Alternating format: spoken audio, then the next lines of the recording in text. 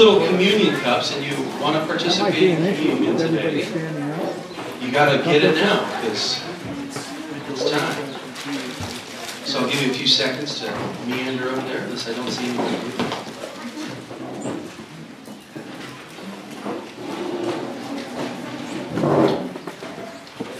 All right. So, on the night that Christ was betrayed, he took some very simple things and used them to teach a profound lesson. This is stuff that we talked about two weeks ago when we talked about baptism and communion.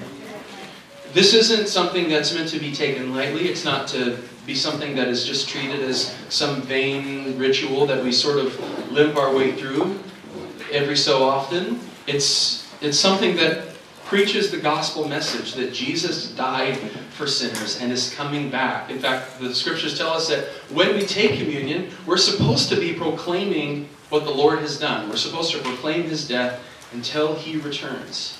Now, these the, the things inside this little package, there's nothing sacred about them. It's a flavorless little wafer made of water and flour and grape juice. Very ordinary things. But they're symbols of some very profound things. The body and the blood of Jesus Christ, broken and shed for the sins of the world. So, with that in mind, my encouragement to you would be this. As a church, we believe that communion is for anybody that has professed faith in Jesus Christ, um, but only for people that have professed faith in Jesus Christ. Um, and so I would encourage you that if you don't know the Lord, just don't participate. Let it, let it pass you by. No, no harm, no foul. But if you are a believer, in these moments, would you allow God to search your heart, reveal any secret sin that you may have sort of compartmentalized and made yourself comfortable with? Do business with the Lord. And then partake, celebrating what Jesus has done to forgive you, to make you. The also the other element of this is that it's to be done together. It's, it's a it's a community activity. It's something that we share in. It's a meal of, of sorts that we have fellowship in. So we also are mindful that this is something that unites us together in purpose to proclaim the gospel message until the Lord returns. So with that, let's go to the Lord in prayer. God in heaven, in these moments, we pray that you would search our hearts. That as we just sort of are still before you, you would make known to us things in our lives that don't please you. Maybe it's actions, patterns. Maybe it's just attitudes that are inconsistent with our testimony as believers.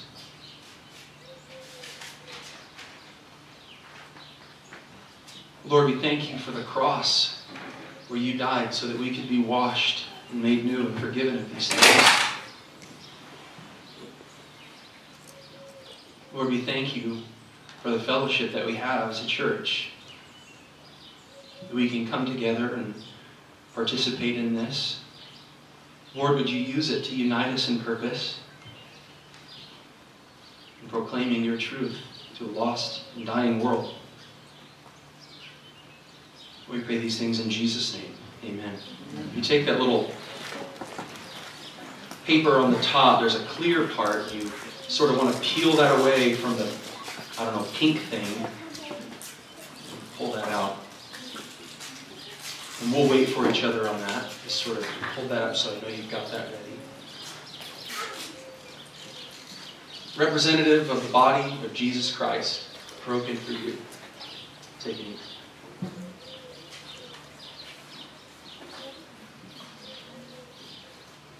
Lord, we do thank you that you went to the cross for us, that you experienced the full weight of the wrath of the Almighty due for our sin. You took it upon yourself so that we could have life. But we don't take that lightly. We praise you for it. Amen. The scriptures say that in like manner he took the cup, gave it to his disciples, blessed it, said, Do this in remembrance of me. The blood is, of course, signifying the blood of the Passover lamb that was shed and, and, and spread over the doorposts of the children of Israel in the life the Lord delivered them from slavery in Egypt. As Christians, we believe that we've been delivered from the slavery, the slavery and bondage that we're into our sin. And it's by that same blood that's been shed, the blood of Jesus Christ. And so with that, peel that little pink thing off the top. We'll partake in that together. Representative of the blood of Jesus Christ, shed for you and for me. Take and drink.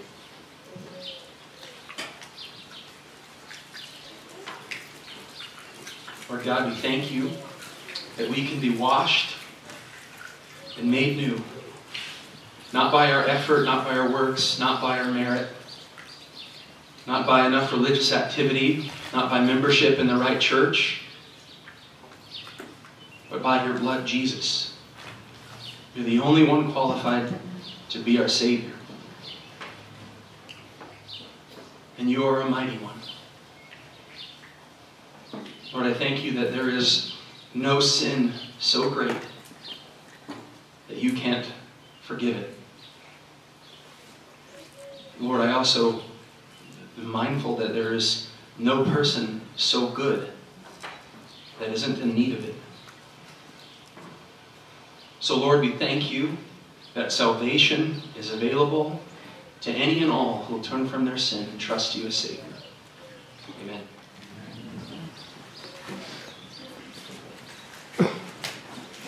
All right.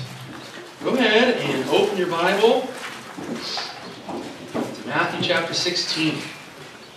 That's where we're going to be this morning. Matthew 16. We're kind of move through a different passages, but that's where we're going to start as we publicly declare the Word of God.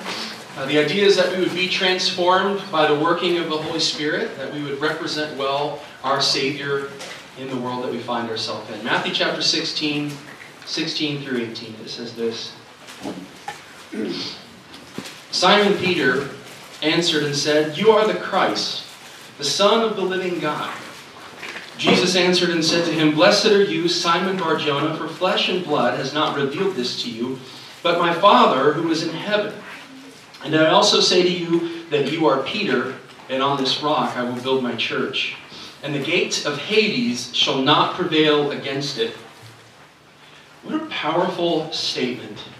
You know, this year, this last year, I guess carried over into this year, there's been a lot of things that have come against the church in one sense, the, the church global, the, the big church. Lots of different ways of gathering and meeting and figuring out online stuff and for our purposes, building a new building and having church outside. I'm really encouraged that none of those things that threatened churches that we were forced to respond to were ever really a threat because we have on the authority of Jesus Christ that even the gates of hell will not prevail against the church that Jesus has built. It's that same Peter that Jesus is speaking to, who wrote in 1 Peter chapter 3, verse 15, that we should always be ready to give a reason for the hope that's in us. We should not only know what we believe, but why we believe it. And so as we continue this series of messages where we've looked at our statement of faith, or the what of our faith, and then we've looked deeply into Scripture to see why we believe those things, we come to what our statement of faith says on the church. Now, something's going on in the culture today, and it's becoming more common. People claim to love Jesus while they're apathetic toward the church. People claim to be Christians but have no association with other Christians. In our culture, the, world, the word church brings to mind steeples rather than people. It brings to mind buildings rather than families. It brings to mind social events rather than life in community with others. But we believe in the church and we value the church. And we ought to be able to correct those misunderstandings because we recognize that the church was established by Christ and that the church is near and dear to the heart of the Savior. We understand the purpose of the church, that it's the God ordained vehicle for worship, evangelism, and discipleship in the world today. You know what you don't really hear in church often? Here's three things, sort of funny. You never hear, I love singing new hymns I've never heard before. You never hear, hey, it's my turn to sit in the front row. You never hear, Pastor, I was so interested that I didn't even notice that your sermon went 25 minutes extra. You never hear those things. My friends, the reality is, is that the church is not a building with benches. It's not a common interest social club. It's not an entertainment venue. Church isn't just a meeting on Sunday mornings. And if the past 10 months haven't taught us that, I doubt we'll ever learn. We've met inside, we've met outside. We've met here, we've met in homes. All summer we actually met under an ag shelter built for cattle. See, the church is more about people than pews. It's a body, not a building. The church is a people who assemble and cooperate in glorifying God and making disciples. So we, the church, have answers to the difficult questions that people are wrestling with in the world. And we have remedies for their hurts. And despite what the government might say, the church is essential. Our statement of faith lays out very nicely a biblical definition of the church. It says this We believe that the church of Jesus Christ is composed solely of those who have been redeemed and washed in his blood, regenerated and sealed by the Holy Spirit, and that they are saved to worship and to serve. That it is the responsibility and privilege of all who are saved to seek throughout the world to win others to Christ, that they should seek to live holy lives, yielding themselves to God and forsaking all that might dishonor Him. If you consider this to be your church home, understand that that is what we believe about the church.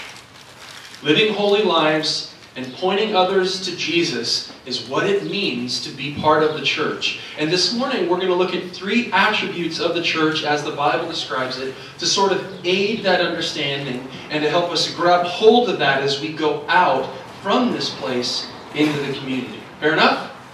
That's where we are today. First, we see from Matthew chapter 16, what we just read, that the church is a united body. We read of Christ identifying a few characteristics of the church as he speaks to Peter.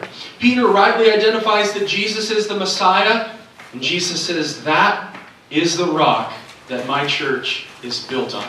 That statement, that simple faith, that simple recognition that Jesus is, is the Messiah Jesus says that truth is the rock that my church will be built on. But notice that he doesn't say that truth is the rock my churches will be built on. How many churches does Jesus have? One. But we have multiple churches even in our small town, don't we? In many communities, you'll find Baptists and Methodists and Assemblies of God and Pentecostals and Lutherans and Presbyterians and Episcopalians and, I mean, the list is longer than the names of the animals at the zoo.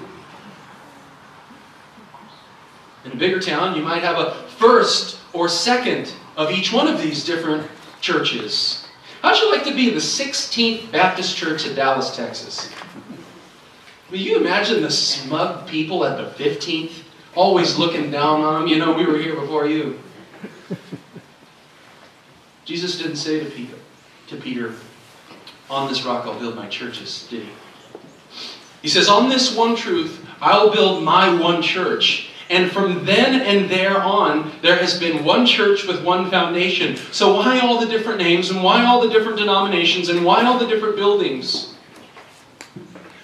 Well, beyond the reality that we're called to separate from those who teach things that are contrary to the Word of God, in critical areas of doctrine, we need to acknowledge that the church is a united body. We believe in the church universal, a spiritual body living for Christ, of which Christ is the head, and all born again people of all of the world throughout all of time are members. The church is universal. So, what is the, univer- the universal church? It's people from all the world throughout all of history who have trusted in the Messiah as their Savior. Ephesians 2 19 through 22 says it very well. Now, therefore, you are no longer strangers and foreigners, but fellow citizens with the saints and members of the household of God, having been built on the foundation of the apostles and prophets.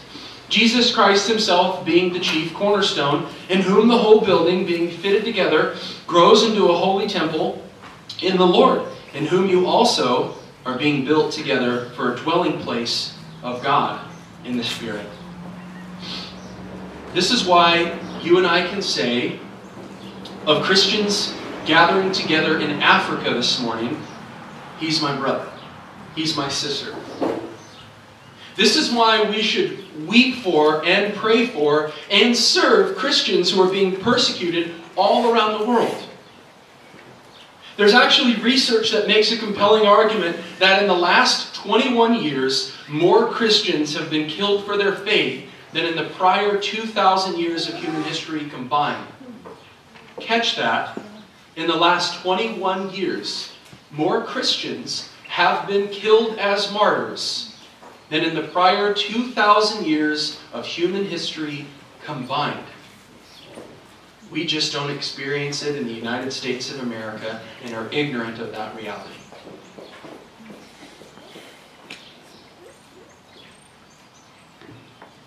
We should be tremendously thankful for the freedoms that we enjoy in this country.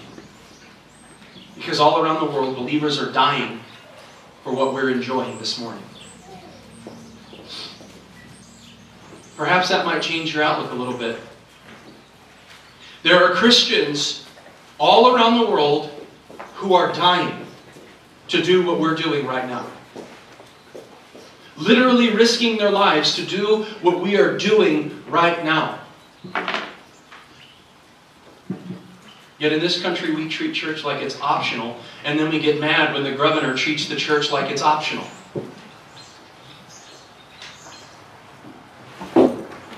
Because the church is one united body, because the church is universal, it should grieve us to hear of believers being persecuted around the world. Paul says these people are not only fellow citizens of the kingdom of God, but they're members of our family. They're part of the household of God. Let me under just put this in your mind really quick. If your brother or your sister were in a far off country facing death, would it stir something in your soul? The reality is, your brothers and your sisters are facing death right now as part of the universal church being persecuted, being martyred.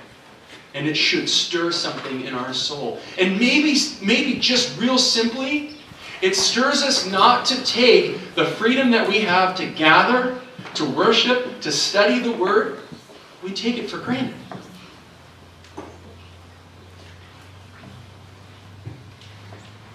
By show of hands, how many of you own one Bible? At least one Bible. How many people have a whole shelf of Bibles in different translations? Got it on your phone? Commentaries, Greek, Greek and Hebrew lexicons, Bible study tools, helps, websites that tell you how to interpret difficult passages. We have access to all of this. Christians in China get killed for owning this. One of them. So you know what they do? They share it, they memorize it, and then they get put in prison. And then they're in prison and they're beaten for having a, a, a Bible. Somebody brings them a little slip of paper and they memorize it because then they get beaten and it gets confiscated. And you know what they say? That's why we memorize it quickly. But we take our Bible we set it in our nightstand, and it collects dust, and we treat these things like they're optional. What are we missing? What are we missing in the United States of America where we will take the things of God that people all around the world are willing to die for and treat them as though they're equal as important as visiting Chuck E. Cheese.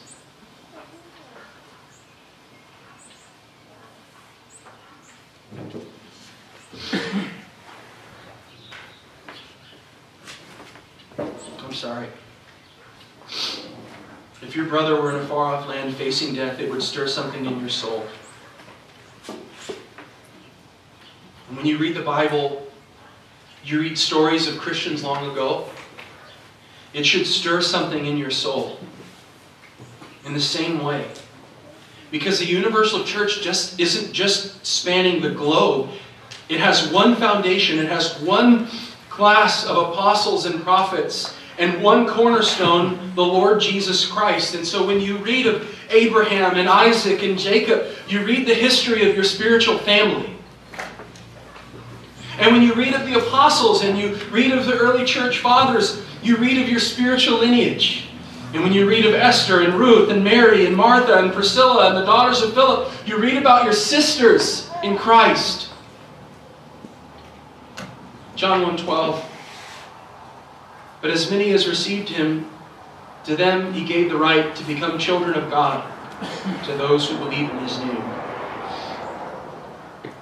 While not everybody who calls himself a Christian is actually a Christian, every person ever who's been born again by repentance and faith in Jesus Christ is adopted into the family of God, and they are one universal body of believers from every tribe, every nation, and every language throughout all time. That's what we mean when we say we believe in the universal church. Now, I've been told that I have a big family. And when I catch myself reading the fine print on the kids eat free offers at IHOP, I think it might be true. I mean, we can field a baseball team without even inviting the neighbor kids, okay? But beyond that, beyond your immediate family, you have your extended family, right? You've got cousins and aunts and uncles and grandmas, and that's all family too, right? And we love them. They're our family, and we're connected to them, but we don't see them every day. That's how extended family works. That's how we should think about the universal church. We love them, and we're connected to them, and we'll pray for them, and we'll serve their needs, and we'll visit them on occasion, but they're not people that we associate with every day, like the people that we live with in our home. So the universal church is the extended family. The immediate family is the local church. The church is universal, the church is also local. This is a concept that's recognized in Scripture as well. Even in one region, there may be multiple local churches. Paul writes to the Thessalonians, saying in 1 Thessalonians 2 13 through 14, For this reason we also thank God without ceasing. Because when you received the word of God, which you heard from us, you welcomed it, not as the word of men, but as it is in truth, the word of God which also effectively works in you who believe. For you, brethren, became imitators of the churches of God which are in Judea, in Christ Jesus. But you also suffered the same things from your own countrymen, just as they did from the Judeans. Notice one region, one Judea, yet multiple local congregations, churches, plural. The Greek word translated here as churches is the plural form of the word ecclesia. It could just as well be translated as an assembly or a gathering. It's the literal coming together of what the Bible describes as called out ones. It's people God has separated from the world by salvation in Jesus Christ, who he then commands to assemble to worship Christ and to meet the needs of others and to make Christ known. That's what a church is. That's what a local congregation is. You see, we can't gather with Christians in China, at least not with any regularity. We can't gather with Christians in Africa every Sunday. Yes, they're part of us universally as extended family, but they're not part of us locally. The church is people who profess faith in Jesus Christ, who choose to associate. I'm talking about the local church here. People who profess faith in Jesus Christ, who choose to associate with each other for worship. It's an immediate family that you see every day, where the universal church is an extended family that you see on special occasions. The church is one united body. We're all blood relatives, having been saved by grace through faith in Jesus Christ. Ephesians 4 4 through 6. There is one body and one spirit, just as you were called in one hope of your calling. One Lord, one faith, one baptism, one God and Father of all, who is above all, and through all, and in you all. Go ahead and flip in your Bibles to Ephesians chapter 5 Go ahead and turn there. It'll be helpful to you. Ephesians chapter 5, verses 25 through 27. It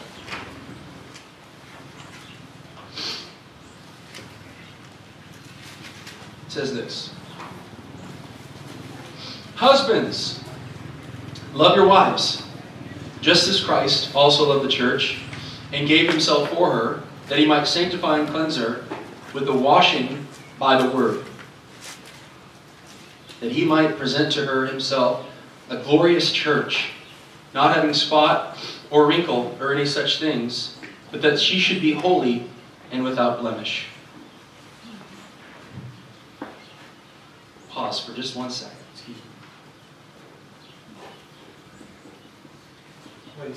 Spring-like days are tough on the allergies, aren't they? Honey, we got the money for your local honey. I know. Holding out on me, Frank. No, I've got some. I'm just kidding. Often, this passage that I just read is preached in the context of marriage. Husbands, love your wives. He sacrificed for it. It's, it's absolutely true and applicable for marriage. It specifically says, husbands, do this.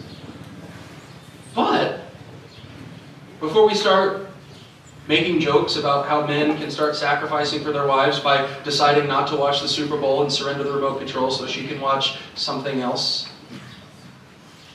we should understand that this passage is primarily about the church. Verse 32 of the same chapter says, This is a great mystery, but I speak concerning Christ and the church. So, whatever is taught here about marriage, is first about the Lord and His church. You see, the church is a redeemed body. Christ loves the church, sacrifices himself for the church, cleanses the people of the church, and makes the church holy. What do we see here other than redemption? The church is a universal body. It's universal, it's local, it's united but it's also a redeemed body. The church here is likened to a woman in need of rescue. And before any of your feminist sensitivities are bruised, I'll say that this is a metaphor that describes all people prior to them knowing Christ, men included. And it begins with Christ loving these people. Look what he says Husbands, love your wives like Christ loves the church. He gave himself to redeem the church. The spiritual condition of, of the people that make up the church prior to their knowing Christ is that they're people in need of redemption. We are people in need of washing. And Jesus gathers us and washes us, and He removes our sin, and He removes our spot, and He removes our blemish, and He makes us holy, and He makes us radiant. And then if we keep reading, he nourishes the church and cherishes the church and loves the church. Tell me, does the church matter to Jesus? A lot, doesn't it? In fact, you might say the church matters to Jesus as much as a bride matters to a loving husband. To be the church is to be identified as a person redeemed by the work of Christ, who died on a Roman cross to pay the penalty of sin and to remove its stain. The reality is, is that even the blackest of souls can be washed and made new and made holy by the one Christ who shed his blood on the cross. Our statement of faith says that the church is composed solely of those who have been redeemed. And that redemption is only by the shed blood of Jesus Christ. Yes, that grates against the postmodern mindset that says there's multiple paths to salvation. Yes, that makes salvation exclusive to those who turn from their sin and follow Christ. But that exclusivity is nothing that should make us arrogant or judgmental. We're saved by grace through faith, not works. So all boasting is eliminated, it's precluded. My friends, this is simply what the Bible teaches.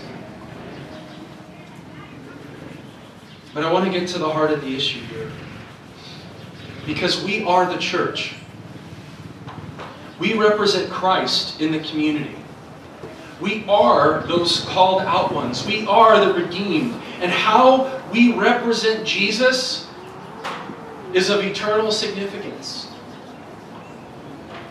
How are we to represent Jesus who loved the church enough to die if we aren't willing to love the church enough to faithfully participate in the life of the church?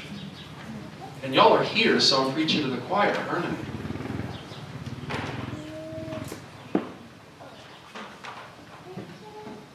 Here's the, here's, here's the reality. If the church matters a lot to Jesus, it should matter a lot to us. Now, I'm not denying that people get hurt by the church. Okay? Anybody ever been wounded by church? Yeah, it happens. I'm not denying that churches are filled with hypocrisy. Anybody ever met a hypocrite in church? Anybody ever been a hypocrite in church? I would even acknowledge that there may be scenarios where a person can't be part of a local church. For example, Paul, while he was in prison. Tough for him to be part of a local church, he's in jail. But the idea of a person who calls themselves a Christian and then thinks that they can treat the church like it's optional is a rejection of the entire assumption of the New Testament concerning Christ and the church. Period. No, no explanation, no excuse, that's it. To, to treat church as it's optional for a Christian is a rejection of the entirety of the New Testament. The, identity, the, the idea that we can identify with Christ but not serve as ambassadors for his kingdom is a rejection of the very words of Jesus. The Bible assumes that we'll be assembling with other believers regularly, that we, under the leadership of elders and pastors, would be equipped and encouraged and held accountable to use our gifts in service to the Lord that we might help other people find and follow Christ. That is the assumption of the entirety of the New Testament. 1 Peter 2 1 through 5. Therefore, laying aside all malice, all deceit, hypocrisy, envy, and all evil speaking, as newborn babes, desire the pure milk of the word that you may grow thereby, if indeed you have tasted that the Lord is gracious. Coming to him as to a living stone, rejected indeed by men, but chosen by God and precious. You also, as living stones, are being built up as a spiritual house, a holy priesthood, to offer up spiritual sacrifices acceptable to God through Jesus Christ. Years back, Cynthia and I and our children lived in a city with 500,000 people. In the four miles between our home and our church building, we would pass at least four other churches. Not one of those churches had outgrown its building. Yet in our consumer culture, perhaps we make absolutes out of things that the Lord says are preferences, and worse, sometimes we make preferences over things that the Lord says are absolutes, and we can't simply bear with others in love and remain united, and so we break away and build different buildings and call ourselves something different when the Lord has called us to unity in Him. But that's the consumer mindset of the United States of America. And so we have con- consumer Christianity.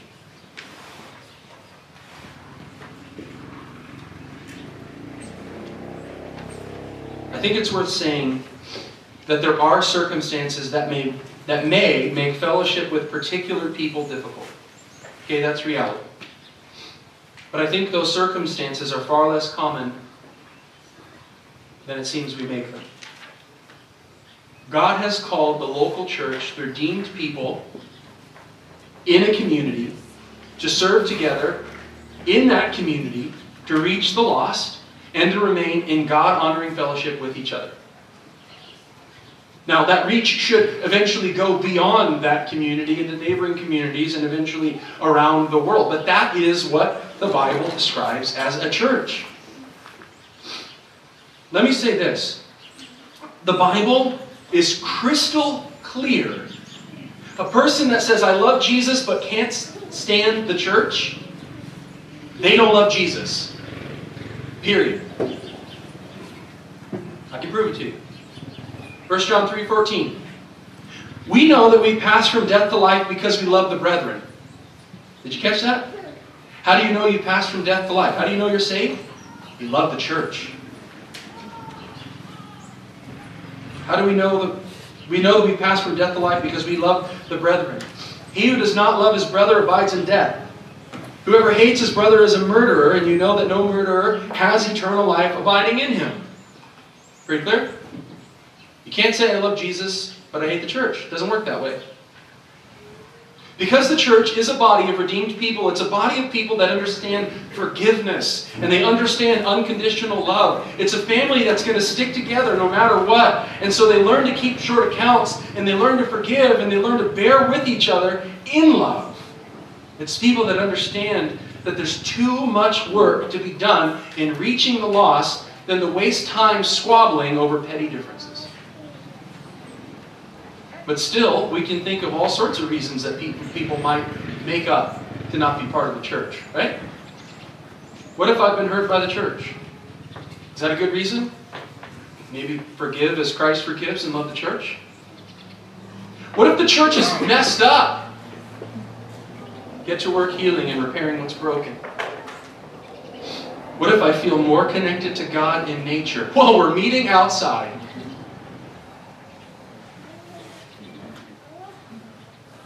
But what if this, that, or the other?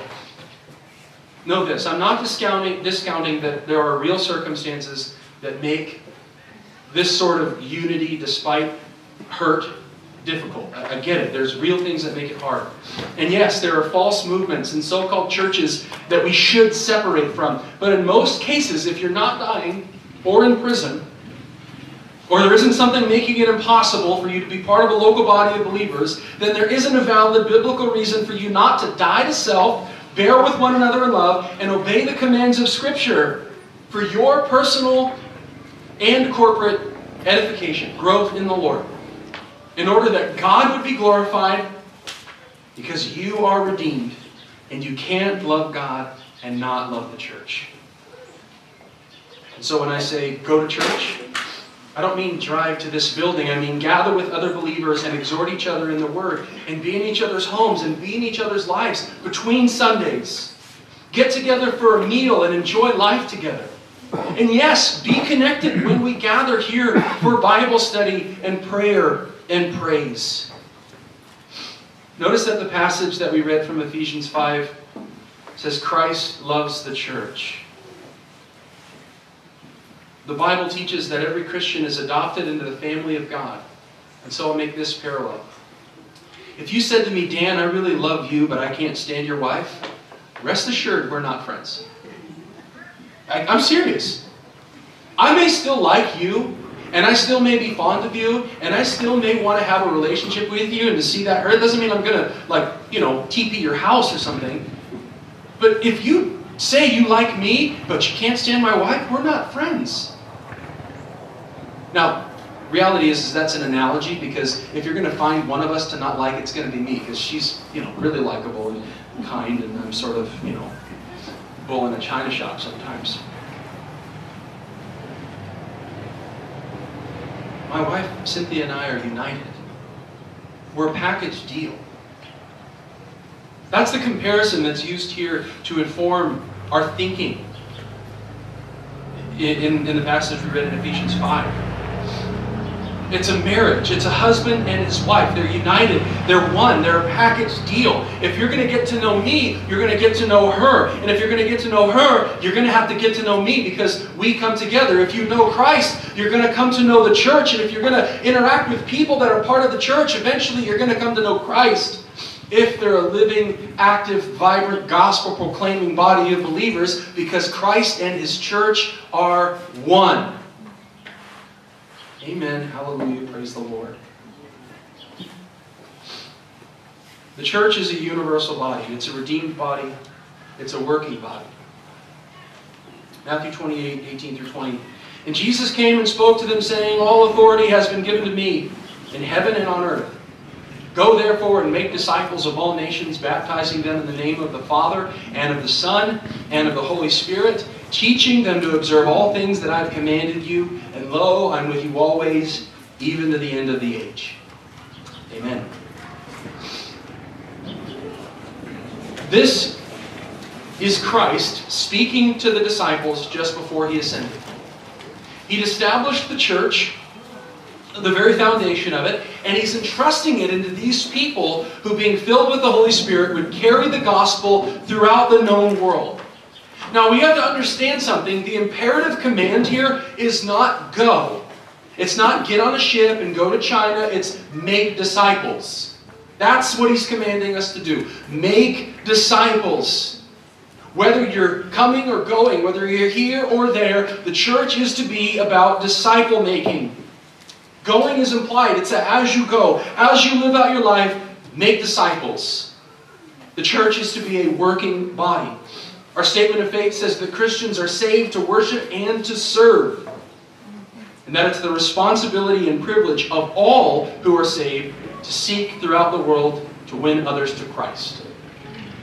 Matthew 22, 36 through 40. Teacher, which is the great commandment in the law? Jesus said to him, You shall love the Lord your God with all your heart, with all your soul, and with all your mind. This is the first and great commandment. And the second is like it. You shall love your neighbor as yourself.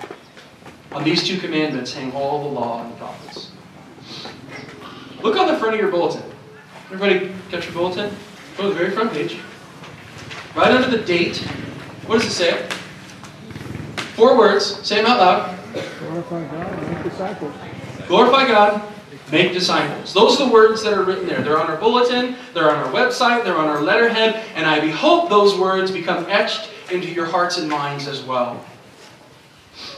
The church, that's a working body, exists to glorify God and make disciples. The basis of this phrase, glorify God, is right here in this passage. Love the Lord your God with all your heart, soul, mind.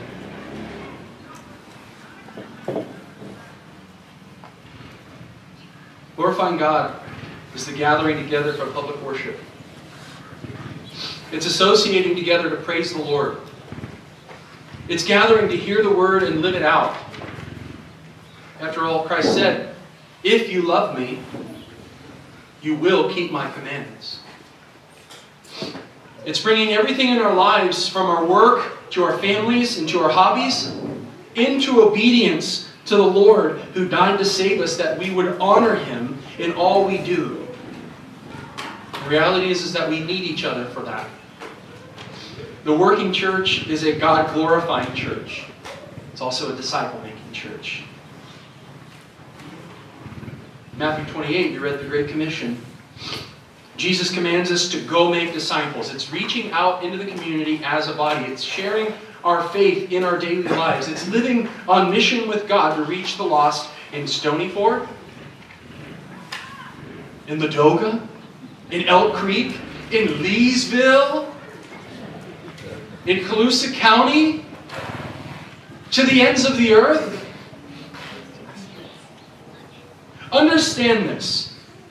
The local church, each local church, is the deployment center for world missions. Stonyford Community Church, yeah, little bitty Stonyford Community Church. You are the deployment center for world missions. That's who you are, according to the Word of God. That means sharing the gospel isn't just my job, it's the job of every Christian. Jesus told his disciples to make disciples, and those disciples were to teach others everything that Jesus commanded. They were to teach others to obey what Jesus said. In other words, Jesus is commanding that we make disciples who make disciples, who make disciples, and then those ones would make disciples, and there's no process we need to implement. Church growth is a simple thing. There's no fancy campaign, no 40 day program we need to download. A growing church is a working church. It's a working body. It's a church of disciples who make disciples. You are the church growth plan. You sharing Christ with your friends and neighbors is how the church grows. It's how the kingdom of God grows. You modeling Christ likeness and biblical living for those you lead to the Lord is the plan. It's been said that the church is the greatest community on the planet. It takes people of all sizes and shapes and colors and political views and it puts them together under one name, the name of Jesus. It doesn't discriminate on the basis of race or economic status or having the right social graces. The church unites people under one flag and one cause, and it gives and it sacrifices for each other like family, even for people we've never actually met. The church is the representative body of Jesus Christ on the earth today. It's a united body, it's a redeemed body, it's a local body, it's the ultimate community. And the saddest thing in the world is that not everyone is part of it. They can be, but they're not. So, with that, perhaps a few points of application are helpful. One, be connected to Christ.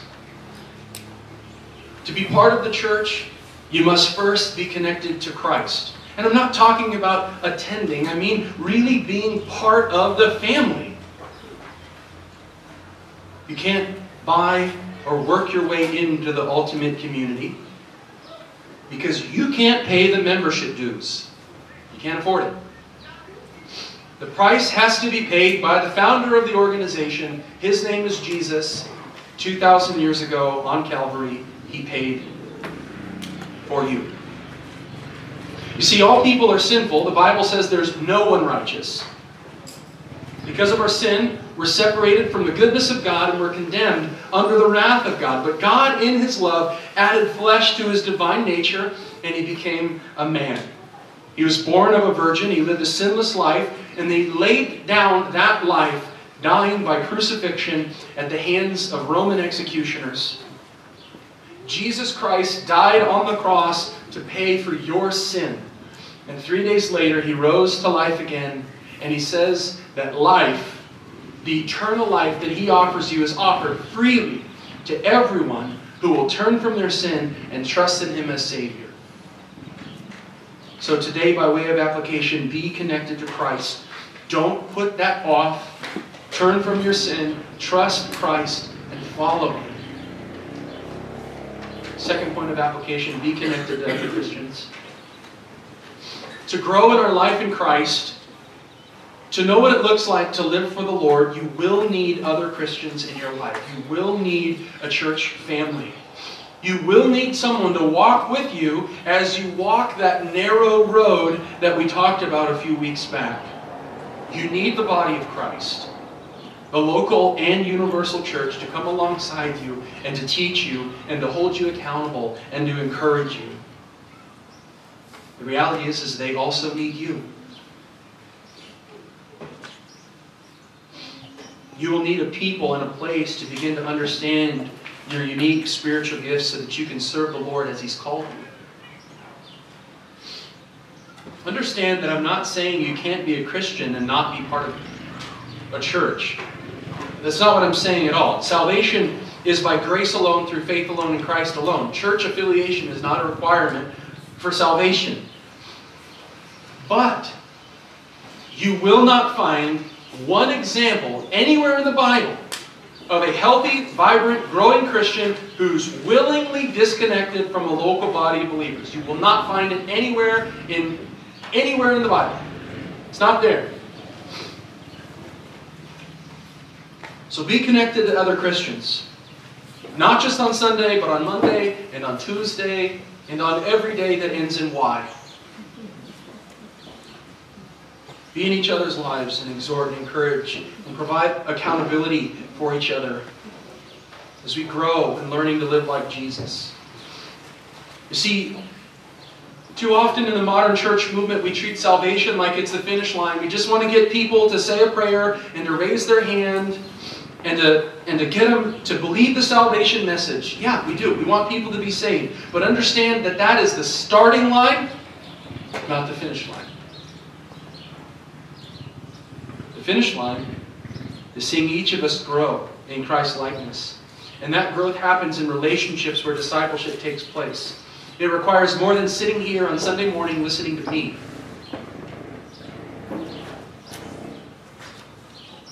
It requires the richness and the warmth of a Christian fellowship that we read about in Scripture, where we bear with each other in grace and humility and hold each other accountable.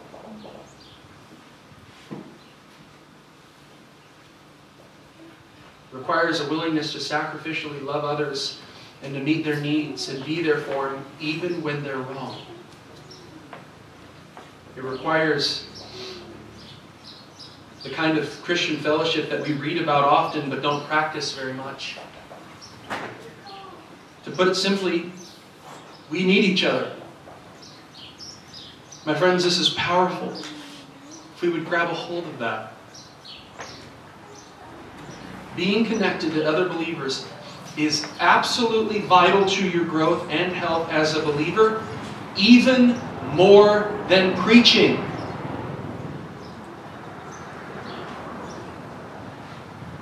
Third point of application be committed to the cause. This is our cause. Glorify God, make disciples. That's why we exist. So live in a God honoring way and gather for public worship and live in private worship. Work for the glory of God. Serve for the glory of God. Parent for the glory of God. Love your spouse sacrificially. Why? For the glory of God. And make disciples. Romans 10 17. So then Faith comes by hearing, and hearing by the Word of God. People need to hear of who Jesus is. It's our job as a body of Christ to make Christ known. So, my challenge to you is this Who will you tell about Jesus? Let's close in a word of prayer. God Almighty, you have called us into something mighty. You've called us into something powerful something unique, something that the world can't even really understand. Lord, the church that you've established does something that every government, every politician, every movement, every community activism organization has failed to do. Unite people. People of every background, every status, every race, and made them one. Lord, we're thankful this morning that there are believers all around the world gathering to worship you, that they are our spiritual family. Lord, we thank you that we get to gather here this morning as a local family and that you've provided a, a house for us, a place that we can gather. Lord, help us to see this, this place as our home away from home where our family meets Lord, help us to bear with each other in love, to forgive, to hold each other up in prayer, hold each other up to the standard of your word. Help us to be faithful to proclaim the gospel message to those who don't know you. Lord, unite us. Not just in showing up on Sunday, but in living our lives together in community. Lord, help us to bring you glory, to make disciples that follow you. In Jesus' name, amen.